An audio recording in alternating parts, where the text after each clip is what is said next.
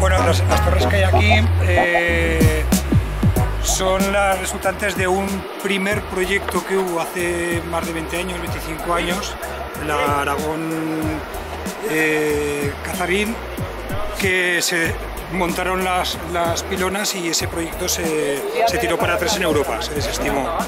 Luego, posteriormente, se ha tratado de volver a, con distintos nombres y con modificaciones, de volver a, a impulsar a poner en marcha de nuevo el mismo proyecto, eh, aprovechando el, la- el trazado de, la- de las líneas.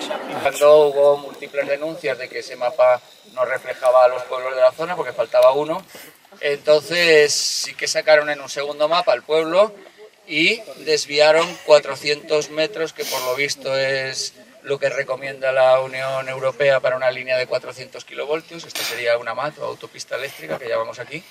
Ese segundo proyecto también, por cuestiones de, de proyectos de, medio- impacto ambiental y por ahí también se luego lo llega llevar a- a- atrás, Ajá. pero ahora han vuelto por tercera vez, Sí. otra vez a querer rescatar el mismo proyecto con otro nombre, les van cambiando los nombres. La gente de estos pueblos, ¿este es el Sobrarbe o La Ribagorza. la Ribagorza?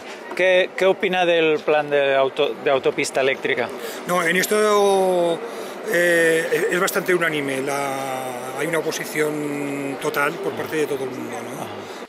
Precisamente aquí el Ayuntamiento de Graus siempre ha estado también en contra unánimemente de, este proyecto, ¿no?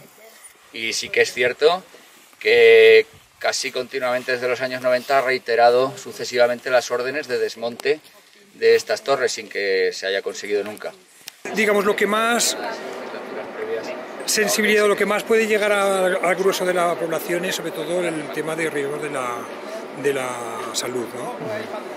Eh, de las radiaciones electromagnéticas y por ahí. El siguiente pueblo más afectado de la zona sería Puello de Marguillén, que es, es mi pueblo, donde yo vivo. Y aquí hemos calculado que estamos a unos 400 y pico metros. De todas maneras, en los propios mapas de red eléctrica sobre las afecciones, si cableasen esto, tendríamos ya 30 decibelios de zumbido para el resto de la vida fijo. Pero vamos, la, la respuesta aquí es unánime, siempre que se han hecho acciones, han recogido alegaciones y por ahí pues la, la respuesta de la gente ha sido bastante... Y no hay, no hay polémica, o sea, no hay, digamos, gente, sector de la población que, que las defienda o que esté a favor, por lo menos aquí.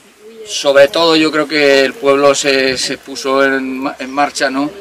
ya no solo por la autopista eléctrica, sino porque, como os decía antes, eh, el proyecto primero Graus y Sona se desviaba más o menos a la altura de una de estas torres hacia Cataluña.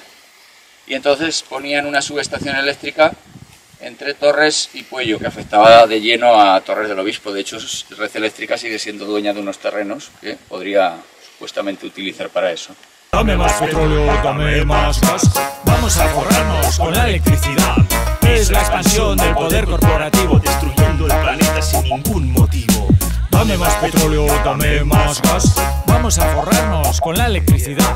Es la expansión del poder corporativo dejando un